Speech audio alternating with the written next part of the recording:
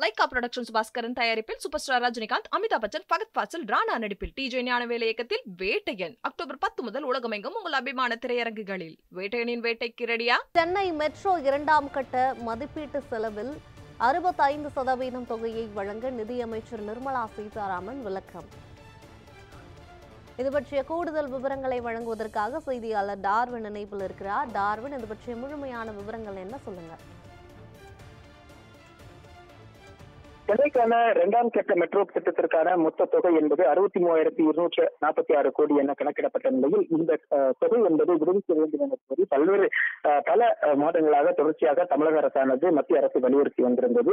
இந்நிலையில் கடந்த கடந்த வாரம் தமிழக முதலமைச்சர் நேரடியாக பிரதமர் மோடியை சந்தித்து இந்த இது தொடர்பான இந்த விளக்கத்தையும் அவர் அளித்திருந்தார். குறிப்பாக ஒரு கோரிக்கை மனுவையும் அவர் அளித்திருந்தார். அதில் சென்னை மெட்ரோ திட்டத்திற்கான அந்த மத்திய அரசுடைய தொகையை விடுவிக்க வேண்டும் என்றும் ஏனெனில் மத்திய அரசுடைய தொகை விடுவிக்காத பட்சத்தில் அது மாநிலத்திற்கான கூடுதல் நிதி சுமையாக இருந்து கொண்டிருக்கும்.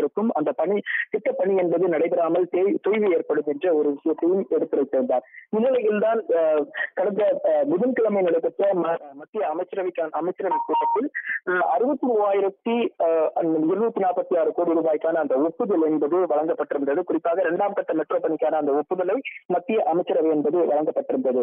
இதன் நிலையில்தான் இது தொடர்பாக பல்வேறு அஹ், சந்தேகங்கள் எழுந்திருந்தன. குறிப்பாக பார்த்தோம் என்றால் இதில் மத்திய அரசுடைய தொகை என்ன? ஏழாயிரத்தி ஏழாயிரத்தி இருநூறு கோடிக்கு அளவில் தான் மத்திய அரசானது நேரடியாக பணத்தை கொடுக்கிறதா? உள்ளிட்ட பல்வேறு பல்வேறு சந்தேகங்கள் என்பது எழுதியிருந்தன அதற்கு விளக்கம் அளிக்கும் வகையில் தான் தற்போது ஒரு பத்திரிகை செய்தியை மத்திய நிதித்துறை அமைச்சகமானது வெளியிட்டிருக்கிறது. அதன் அடிப்படையில் அவர்கள் பார்த்தோம் என்றால் இந்த அறுபத்தி மூவாயிரத்தி இருநூற்றி நாற்பத்தி ஆறு கோடி ரூபாயில் அறுபத்தி ஐந்து சதவீதத்தை மத்- மா- மத்திய அரசை ஏற்றுக்கொள்ளும் என்பதை அவர்கள் தெரிவித்திருக்கிறார்கள். அதற்கான அனைத்து நடவடிக்கைகளும் ஏற்கனவே ஒப்புதல் கொடுக்கப்பட்ட நிலையில் இந்த பணம் என்பது மாநில அரசினுடைய அந்த மாநில அரசுக்கு விடுவிக்கப்பட்டு அந்த சென்னை மெட்ரோ ரயில் இரண்டாம் கட்ட பணிக்கான எந்த தொய்வும் இன்றி நடைபெறுவதற்கான அந்த நடவடிக்கையை மத்திய அரசு மேற்கொள்ளும் என்றும் அந்த பத்திரிகை செய்திக்குறிப்பில் தெரிவிக்கப்பட்டிருக்கிறது.